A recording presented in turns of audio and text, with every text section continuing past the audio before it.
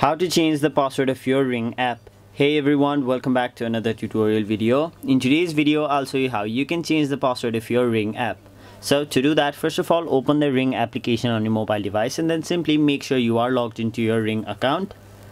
Now once you're logged in, your home page will look somewhat like this where you'll have to tap on the three horizontal lines on the top left side of the screen.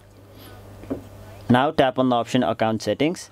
After that, under account security, you'll have to tap on the first option which is password. Now again, you'll have to tap on the update option which is to the right of the password option. After that, before you change your password, you'll have to first of all verify your identity. So you'll have to enter your current password. Now, once you've entered your current password, tap on the option continue. And remember, if you don't remember your current password, you'll have to simply reset it. Now, once you've entered your old password, it'll send a six digit verification code to either your phone number or your authenticator app. So simply enter the six digit verification code over here now tap on the option verify code.